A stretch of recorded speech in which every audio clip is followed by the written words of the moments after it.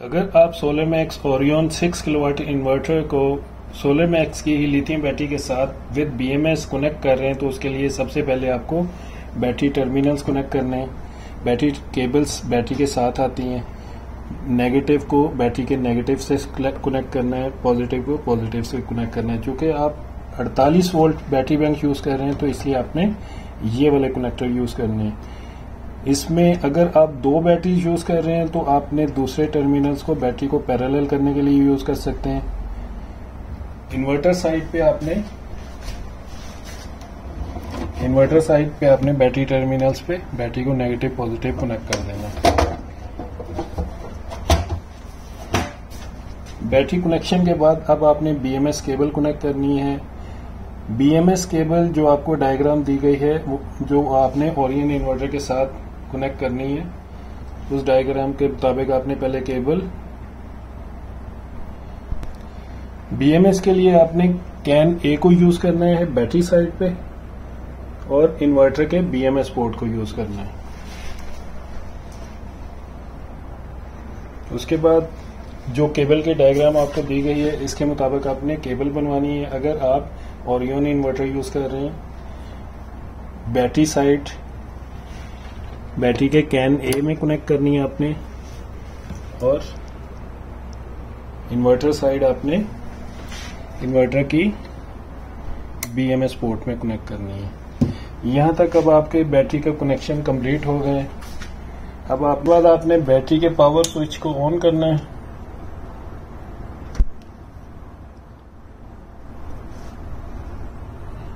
जब बैटरी मुकम्मल तौर पे पावर ऑन हो जाए, उसके बाद आपने अपने मोबाइल में ऐप डाउनलोड करनी है बैटरी स्मार्ट के नाम से, जिसका लिंक भी आपको दिया गया है। बैट, बैटरी ऐप डाउनलोड करने के बाद आपने रजिस्टर का ऑप्शन सिलेक्ट करना है नेम सिलेक्ट करना है सर नेम अगर आप रखना चाहते हैं ईमेल जिसका वेरिफिकेशन कोड रिसीव होगा कोड रिसीव करने के बाद आपने कोड यहाँ पे इंटर करना है। पासवर्ड अपने लिए जो आप यूज़ करना चाहते हो कंफर्म पासवर्ड और रजिस्टर को सिलेक्ट करना है। जब आप रजिस्टर कर लोगे, आपका अकाउंट रजिस्टर हो जाएगा। उसके बाद आपने लॉगिन करना है। लॉगिन करने के बाद ऐड न्यू डिवाइस स्कैन अब आपने बैटरी के साइड पे जो कोड मेंशन है, उसको स्कैन करना है। जैसे ही आप बैटरी के कोड को स्कैन करेंगे, अब आपके पास ब्लूटूथ कनेक्शन के साथ बैटरी का सीरियल नंबर आ जाएगा। अपने मोबाइल का ब्लूटूथ और लोकेशन को ऑन रखना है आपने। ब्लूटूथ कनेक्शन कनेक्ट हो गया बैटरी के साथ। अब आपने इसके जो सीरियल नंबर आ रहा है, उसे सिलेक्ट करना है। इस जगह पे आपके घर में जो वाईफाई है, उसका नाम आएगा। अब यहाँ पे आपने उसका पासवर्ड एंटर करना है।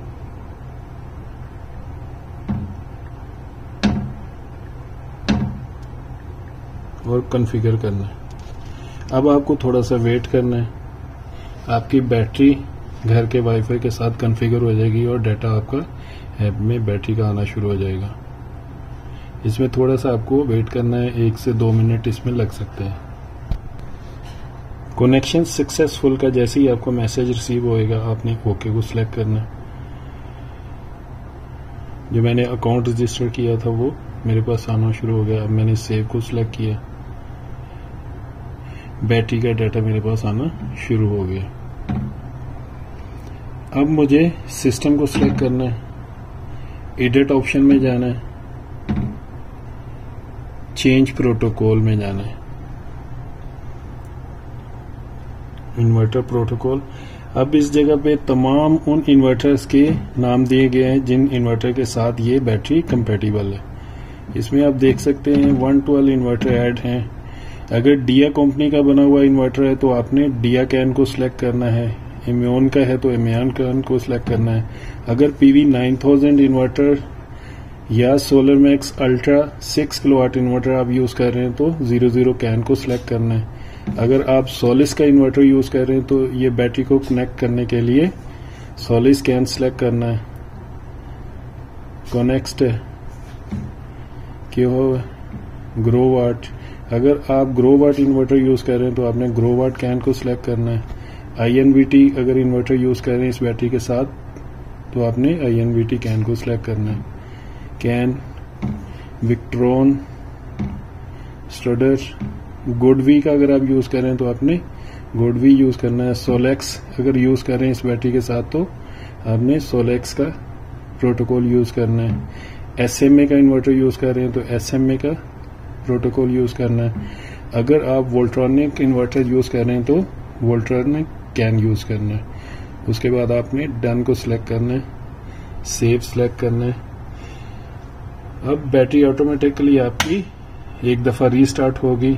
जैसे ही रीस्टार्ट होगी, आपका इन्वर्ट बैटरी इन्वर्टर के साथ कनेक्टिविटी के लिए तैयार रहेगी। अब यहाँ पे अगर आप देखो इन्वर्टर प्रोटोकॉल वोल्ट्रॉनिक कैन लिखा आ गया इसका मतलब है अब ये ओरियन इन्वर्टर की तमाम सीरीज़ के साथ कंपेटिबल हो गई है। क्योंकि ये बैटरी मुख्तलिफ़ कंपनीज़ के मुख्तलिफ़ इन्वर्टर के साथ कंपेटिबल है तो इसलिए इसमें आपको प्रोटोकॉल सिलेक्ट करना ज़रूरी है। यहाँ तक अब आपकी बैटरी की सेटिंग्स कंप्लीट हो गई हैं। केबल आपने कम्युनिकेशन की लगा दी है, अब आपको एक सेटिंग बैटरी की टाइप की इन्वर्टर से सिलेक्ट करनी है। केबल बैटरी की बीएमएस में लगी हुई है इन्वर्टर को स्विच ऑन करें।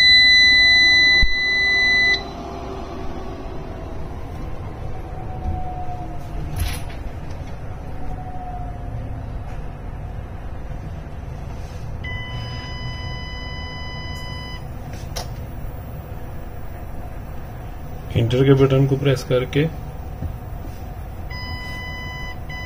बैटरी की टाइप में ओरियन सिक्स किलो किलोवाट अगर आप इन्वर्टर यूज़ कर रहे हैं तो इसकी 14 नंबर पैरामीटर पे आपने आना है।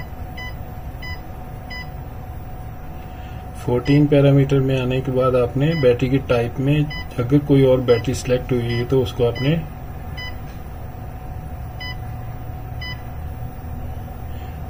वीईसी पे सेट करना है। वीसी वीईसी पे सिलेक्ट करने के बाद आपने इंटर प्रेस करना है और बैटरी को सेव कर देना है। अब देखिए, अब लिथियम बैटरी का आइकॉन ब्लिंक करना शुरू हो गया इसके, इसका मतलब है कि अब आपका इन्वर्टर इस बैटरी हो गया और विद बीएमएस वर्किंग स्टार्ट कर दी है। इसके अलावा अगर आप बैटरी की कम्युनिकेशन केबल उतार देते हैं तो इन्वर्टर 61 नंबर वार्निंग जो कि बीएमएस लॉस का वार्निंग है, वो स्टार्ट कर देगा। अगर पाँच से दस मिनट तक इन्वर्टर आपका इस तरह की 61 नंबर वार्निंग शो नहीं करता तो इसका मतलब है आपका इन्वर्टर अब विद बीएमएस बैटरी के साथ काम कर रहा है।